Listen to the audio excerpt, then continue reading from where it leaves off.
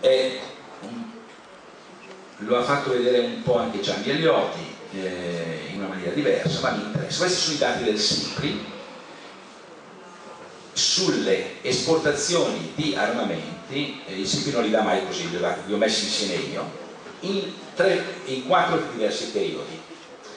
Qui è importante questo perché quando si guarda il commercio di armi non bisogna mai guardare un anno. Ah, eh, faccio una piccola parentesi, qualche anno fa guardando il tabulare del SIPRI, una giornalista, non ricordo se era del Corriere e della Sera o, del, o della Stampa, era estate, in Felice, questa ragazza mi hanno detto scrive un articolo, guarda il SIPRI, ha scritto che il maggiore sistema d'arma che l'Italia aveva esportato eh, quell'anno eh, nel mondo era praticamente una nave, era una nave da guerra al Perù in quell'anno l'Italia aveva, portato sistemi, la maggiore commessa era stata sistemi terra-aria, missili terra-aria venduti al Pakistan.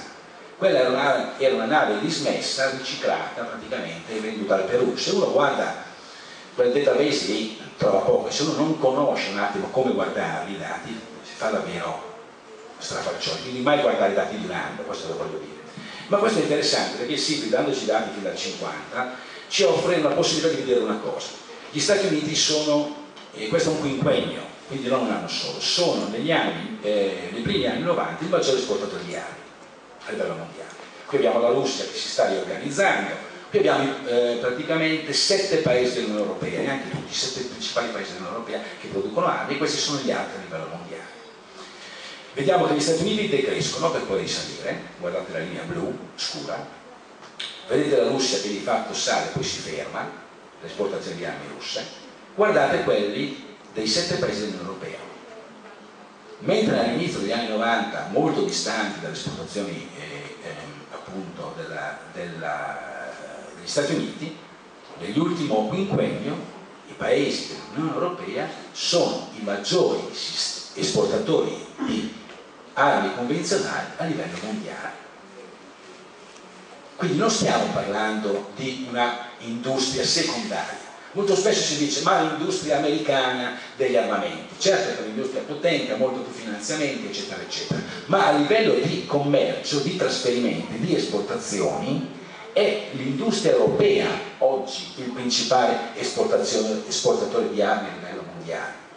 E neanche di tutta l'Unione Europea, dei sette paesi praticamente dell'Unione Europea, Gran Bretagna, Francia, Italia, Svezia, Germania, eh, Olanda e Spagna.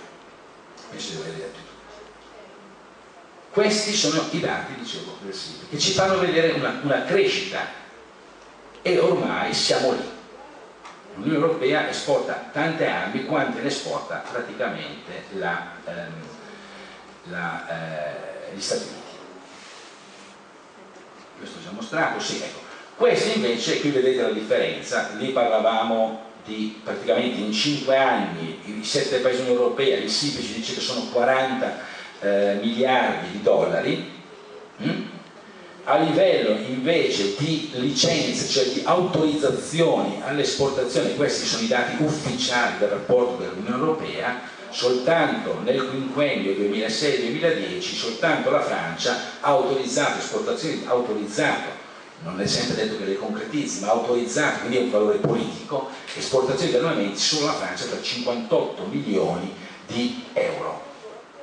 Quindi capite bene come, scusate, miliardi di euro, quindi eh, capite bene che siamo a una questione molto eh, diversa. Ecco. Però anche qui vediamo una cosa, che la Francia è il primo paese per autorizzazione e esportazione di armamenti, la Germania è il secondo, ma l'Italia è vicina. E poi abbiamo gli altri paesi. Questi sono i dati ufficiali del rapporto Unione Europea, però se voi cercate nel rapporto di 400 pagine una tabellina così semplice chiara non la trovate, perché questo vuol dire mettersi a tabularli tutti. E vediamo le destinazioni, cioè a chi i paesi dell'Unione Europea esportano armi. Nell'ultimo quinquennio, dati ufficiali dell'Unione Europea, gran parte, una buona parte, 55 miliardi, sono, sono eh, ai paesi stessi dell'Unione Europea, cioè la Francia esporta all'Italia, l'Italia esporta alla Germania, quindi possiamo chiamarlo commercio interno. E poi questo mi servirà per una eh, riflessione sull'industria.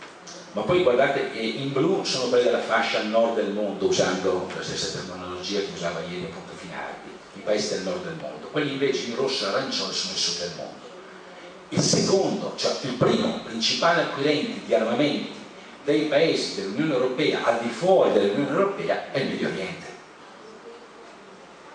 una delle zone di maggior conflitto a livello mondiale o di maggior tensione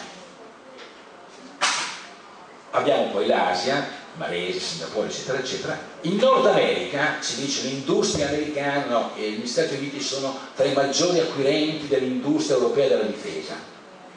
Scusate l'espressione, è una palla. Dati alla mano non è vero. Mettetevi lì, ritavolatevi tutti e vi esce questo dato. E cioè praticamente Canada e, e Stati Uniti dell'Unione Europea acquistano molto meno di quello che acquistano i paesi del Medio Oriente e di quello che acquistano i paesi dell'Asia perché hanno una loro industria interna ovviamente che funziona è interessante perché eh, addirittura l'Africa acquista più armamenti, tutti i paesi dell'Africa, più armamenti di quelli che acquistano, oh, le autorizzazioni, la fase esatta è, le autorizzazioni all'esportazione dei paesi dell'Unione Europea eh, verso l'Africa sono maggiori di, di, quelle verso i paesi del sud, dell'America del Sud. Se metto insieme, secondo la divisione che faceva anche ieri Sergio Finardi, il nord-sud del mondo, che, che figura ho? Scusate qui è scritto in italiano ma lo spiego, le licenze, l'autorizzazione, l'esportazione verso i paesi del nord e sud del mondo, noi abbiamo che verso il sud del mondo il 46% di armamenti dell'Unione Europea. Dico questo in termini industriali. L'industria europea della difesa sta in piedi si mantiene, è in grado di prosperare grazie all'esportazione di armamenti verso il sud del mondo. Quindi il primo passo, se voglio pensare alla riconversione, è guardare cosa c'è dentro in queste esportazioni qua, a chi vanno a finire